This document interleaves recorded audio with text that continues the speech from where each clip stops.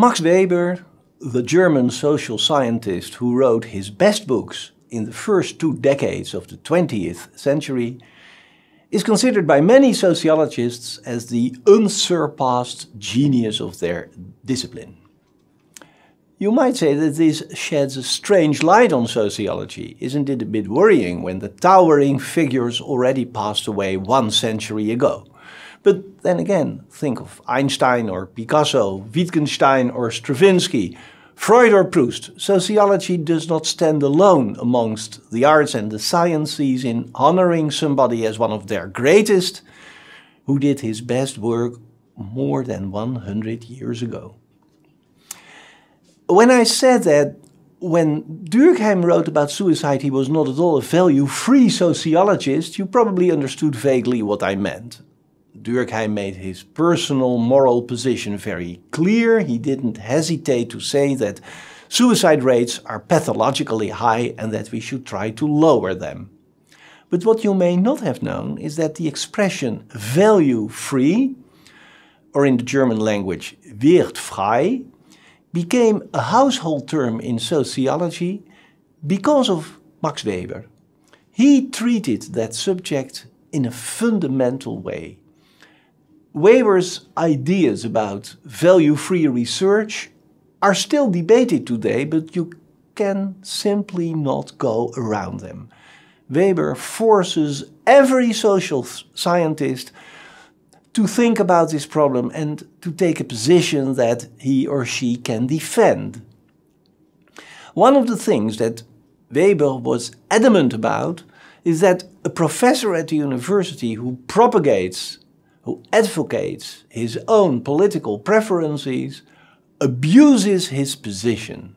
He has been appointed because in a certain field he is considered to be one of the best, but that does not give him the right to tell his students how they should vote in the next election.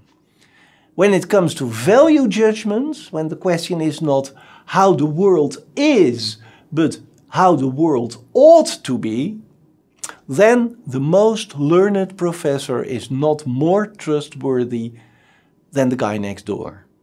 And if the professor pretends that his scientific excellence enables him to say with authority which political party deserves the support of the students, then he is just a fraud.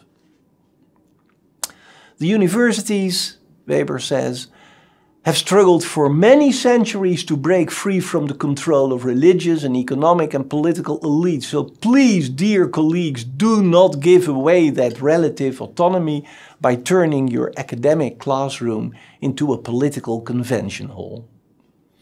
Now, this is an interesting position, but some sociologists might disagree.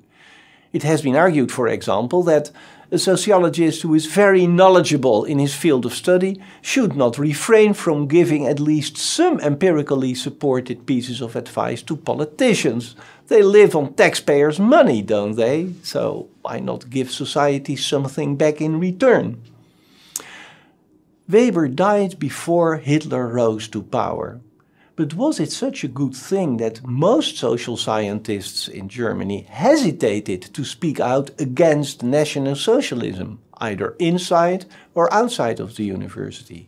And something else.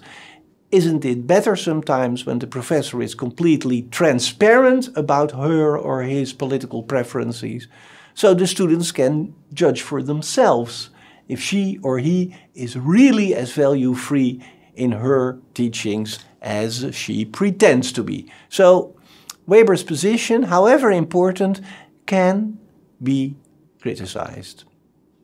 Now, when it comes to doing research, Weber does not say that values play no role at all. On the contrary, he knows very well that value judgments drive students to the university, to a certain discipline, and maybe also to a certain problem field within that discipline. There is in fact nothing wrong with studying racism because you believe that racism is wrong. But when you are doing the research, when you are collecting and interpreting your data, then you should try to be as cool and as detached as it is possible to be. Don't force the data in such a way that they produce the conclusion that you hoped to achieve when you began your research project. You may have all kinds of strong opinions, but when you are collecting the data, just shut up. Open your eyes and ears, give social reality an opportunity to talk back. You should, for example, be extremely careful when you might in your interviews even inadvertently suggest certain answers to your interviewees. And when the final results are in, check one more time if they really, really, really did not allow your own preferences to create a bias. Now, the best way to do it is to enlist the help of your peers who may come from an entirely different political or ideological background. Let them check and recheck the whole research process in order to make sure that you did not, maybe unconsciously, maybe unwittingly, push in the direction of a conclusion that you hoped to arrive at.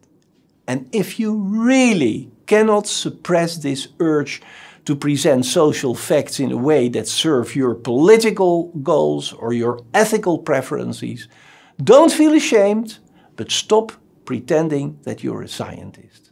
You may become a novel writer, you may become a journalist, a preacher or a politician. You should follow your own demon, but you are not a scientist. So stay away from the university.